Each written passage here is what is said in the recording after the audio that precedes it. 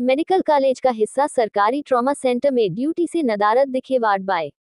पीड़ित तीमारदार ने मीडिया से बयां किया हाल कहा चिकित्सक कह रहे सरकारी है यहाँ नहीं कुछ हो रहा। बताया मरीज़ को ले जाने के दौरान कोई वार्ड बाय भी आसपास नहीं आ रहे नज़र। आरोप महज खाना पूर्ति का हो रहा काम फार्मासिस्ट भी नहीं दे सके संतुष्ट जवाब। हमारा क्या नाम है? मेरा नाम बबलू यादव। क्या मामला है यहाँ पर? ये क्या मामला ये है कि यहाँ पे कोई सुनवाई नहीं हो रही। यहाँ पेशेंट डला है कुछ नहीं डॉक्टर साहब बोल रहे हैं कि यहाँ सरकारी है। कौन से डॉक्टर कह रहे हैं सरकारी है? ये डॉक्टर साहब वहाँ खड़े हैं वो कह रहे हैं कि यहाँ सरकारी है या कुछ नहीं हो रहा। किस हॉस्पिटल में हो? अब पता नहीं कौन सा और हॉस्पिटल है वहाँ लेके जाऊँ किसी आदमी नहीं अभी आप कहाँ पर हो? मैं अभी यहाँ फिरोजाबाद हूँ। किस जगह पर किस जगह पर? यह सरकारी अस्पताल में।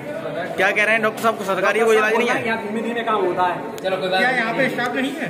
मुझे नहीं पता यहाँ कोई स्टाफ मुझे कोई दिख नहीं रहा बस दो डॉक्टर दिख रहे हैं उनसे बस मैं एक बात कर रहा हूँ। और तो सब यहाँ पे सब लेबर फिर रही है। ढाई सौ रुपए वाली। और कुछ काम नहीं हो रहा ढाई सौ रुपए वाली लेबर फिर रही है उसको ये देखो अपने क्या कर रहा है वो समझ में नहीं आ रहा। और वहाँ पे देखो कोई डॉक्टर नहीं बैठा इनका कोई भी मेन आदमी नहीं है वहाँ।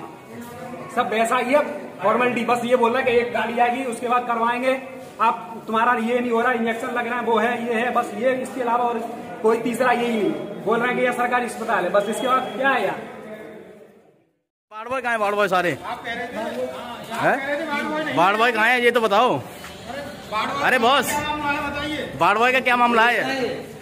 बाढ़ बॉय का क्या मामला है? नहीं अभी ये चिल्ला रहे थे कोई बाढ़ बॉय नहीं है मरीज़ बैठी हुई तो गाड़ी गई नहीं तो बाढ़ बॉय है कहाँ है आपके यहाँ पर जो बाढ़ बॉय रहते थे कहाँ है बाढ़ बॉय कौन बाढ़ बॉय है बाढ़ बॉय है कौन ये तो बताओ दिखवाओ दिखवाओ हमारे कैमरा चल रहा है बाढ़ बॉय दिखवाओ कितने हैं दिखवाओ कौन बाढ़ बॉय है